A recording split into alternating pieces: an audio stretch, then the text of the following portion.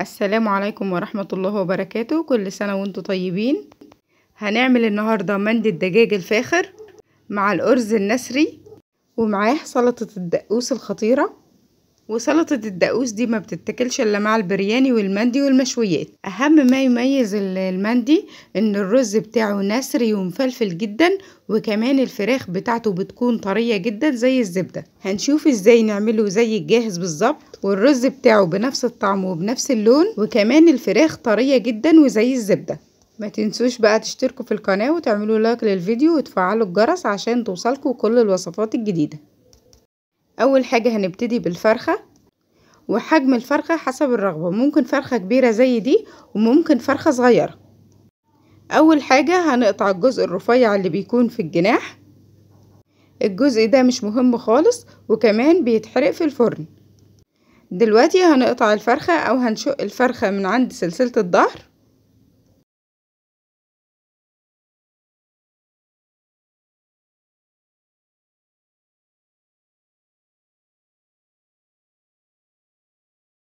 وهنفتح الفرخة بإيدينا بالشكل ده.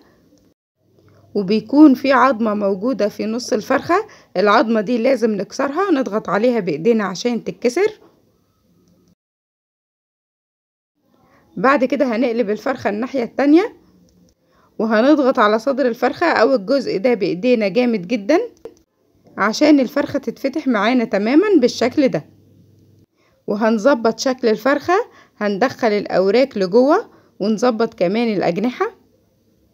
هنحتاج صينية فرن ونحط فيها بصلة مقطعة قطع صغيرة أو مبشورة وهنضيف على البصلة دي معلقة صغيرة من الملح ومعلقة صغيرة من البابريكا ونص معلقة صغيرة من الفلفل الأسود. وندعك البصلة مع التوابل دي كويس جدا. ونركن الخلطة دي في جنب في الصينية ونجيب الفرخة بتاعتنا ونحطها في الصينية. وندعك الفرخة بتاعتنا بالخلطة دي كويس جدا. والخطوة دي مهمة جدا. لازم الفرخة تدعك كويس جدا في كل جزء منها بين الأوراق وتحت الأجنحة وكمان عند الرقبة. بعد كده هنحط الصينية بالفرخة على نار تحت المتوسطة بشوية وهنحط في صينية الفرن تحت الفرخة كوبايتين كبار من المية. لو الفرخة بتاعتك صغيرة كفاية كوباية واحدة من المية. وهنغطيها وهنسيبها تستوي تلات أرباع سوا. يعني حوالي ساعة إلا ربع على نار تحت المتوسطة زي ما قلتلكم وهنجهز التتبيلة التانية بتاعة الفراخ. معانا معلقتين كبار من الزبادي. نضيف عليهم معلقة صغيرة خالص من الملح ومعلقة صغيرة من البابريكا ونص معلقة صغيرة من الفلفل الأسود ونص معلقة صغيرة من الكركم ونص معلقة صغيرة من الكاري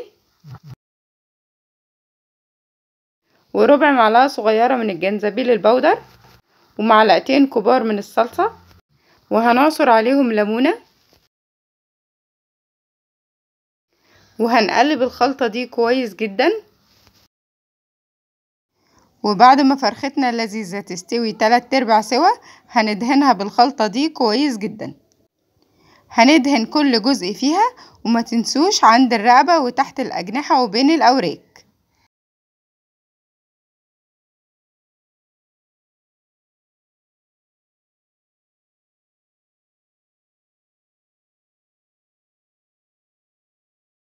بعد كده هندخلها الفرن على الرف الوسطاني على أعلى درجة حرارة لمدة نص ساعة أو ساعة إلا ربع. بعد كده هنشغل عليها الشواية عشان تتحمر أو تتشمع. دلوقتي هنعمل رز المندي الجميل. معانا حلة على نار متوسطة. هنحط في الحلة دي ربع كوباية من الزيت. وهنسيب الزيت يسخن شوية. بعد كده هننزل عليه ببصلة متوسطة مقطعة شرايح. وهنشوح البصلة دي لمدة دقيقتين أو تلاتة. بعد كده هنضيف عليها أربع ورقات من اللوري. وعود قرفة خشب وقرنفل صحيح وأربع وحدات من الحبهان الصحيح وكمان فلفل أسود صحيح وليمونتين مجففين أو لومي مجفف. وهنشوحهم مع البصلة لمدة دقيقة واحدة بس. بعد كده هنضيف ليهم الرز البسمتي أو رز الكبسة. وطبعا أنا غسلاه كويس جدا من المية. المية بتاعته لازم تكون بيضة خالص ومصفياه كويس من المية.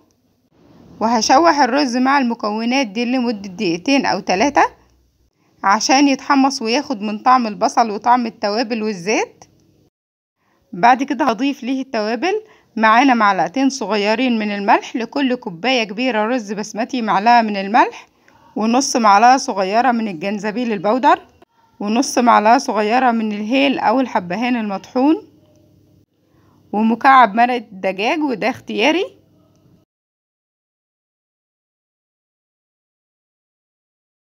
وهنشوح المكونات دي مع بعضها لمدة دقيقتين أو تلاتة. وهنضيف ليهم حباية فلفل حامي ودي اختياري ممكن منضيفهاش دلوقتي هنضيف المية المغلية لكل كوباية رز بسمتي كوبايتين إلا ربع من المية المغلية. وما تخافوش لو مية الرز البسمتي زادت ما بيحصلش حاجة خالص الرز البسمتي صعب إنه يعجن. وهنقلب المية دي مع الرز وهنغطي الحلة ونسيب المية تغلي مع الرز تاني. بعد كده هنكشف الحلة ونقلب الرز تقليبة ونوطي النار شوية كمان ونغطي الحلة ونسيب الرز يتشرب كل المية اللي فيه. الرز كده شرب المية اللي فيه بس لسه ما استواش.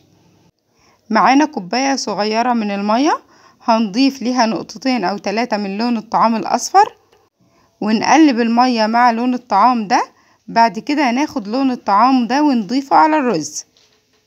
وما بنضيفش على سطح الرز كله بنضيف على أماكن وأماكن نسيبها فاضية. وكمان نضيف شوية زبيب لو حابين والزبيب ده أنا غسلاه قبل ما أضيفه على الرز. وهنغطي الحلة ونوطي النار خالص ونسيب الرز يكمل سوا. ودي الفرخة بعد ما طلعت من الفرن. دلوقتي هنعمل تكاية بسيطة أو حركة بسيطة جدا تخلي الفرخة بتاعتنا مدخنة زي المندي اللي بنشتريه من بره بالظبط. هنجيب غطا بطرمان وهنحطه في الصينية جنب الفرخة كده وهنكون مسخنين فحماية على النار. نحطها في غطا البطرمان ده وهنجيب معلقة وناخد شوية من الصوص اللي جنب الفرخة وننزله على الفحماية دي.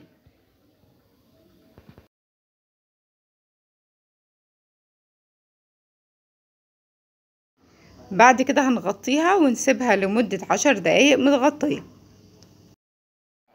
دلوقتي هنعمل أطعم سلطة دكوس ممكن تكوني كلتيها في حياتك. هنجيب طماطمتين متوسطين ونقطعهم ونحطهم في كبة الخلاط وممكن في الخلاط العادي. ونضيف عليهم فلفلاية صغيرة رومي. هنقطعها برضو ونضيفها على الطماطم بدون البذور بتاعتها وكمان فلفلاية كبيرة حراقة وبرضو هنقطعها ونضيفها على الطماطم بدون البذور بتاعتها.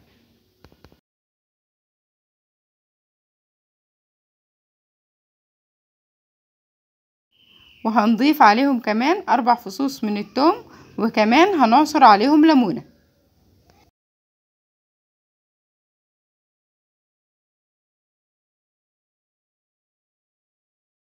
وكمان هنضيف عليهم معلقة كبيرة من صلصة الطماطم ونص معلقة صغيرة من الملح ونص معلقة صغيرة من الكمون ونص معلقة صغيرة من الفلفل الأسود ومعلقة صغيرة من البابريكا ونص كوباية من المية. وهنفرم المكونات دي مع بعض كويس جدا بعد كده نفضيها في أطباق التقديم. عاوزة أقولك إن طعم الصوص ده حكاية. جميل جدا. وده رز المندي الجميل بتاعنا بعد ما استوى. هنشيل الزبيب من على سطح الرز زي ما أنتوا شايفين كده بمعلقة.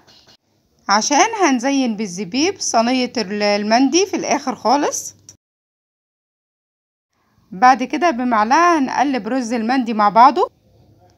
عشان اللون الأصفر يختلط مع اللون الأبيض. بعد كده نفضي الرز بتاعنا في صينية كبيرة ودي صينية التقديم. شايفين الرز بتاعنا مفلفل ونسري والحباية بحبتها إزاي؟ وكمان لونه جميل جدا زي مندي المطاعم بالظبط. وكمان طعمه لذيذ جدا زي مندي المطاعم بالظبط ويمكن أحلى. دلوقتي هنشيل الحلة كلها ونفضي الرز بتاعنا في الصينية زي ما أنتوا شايفين كده. وهنحط الفرخة بتاعتنا فوق الرز زي ما أنتوا شايفين كده. وهنزين الرز بالزبيب زي ما أنتوا شايفين كده.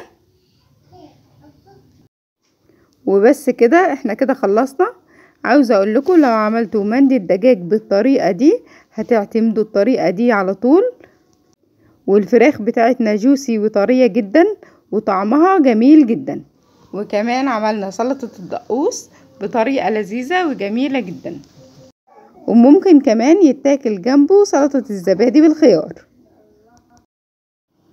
وبالهنا والشفا مقدما ما تنسوش تشتركوا في القناة وتعملوا لايك للفيديو وتفعلوا الجرس عشان توصلكوا كل الوصفات الجديدة.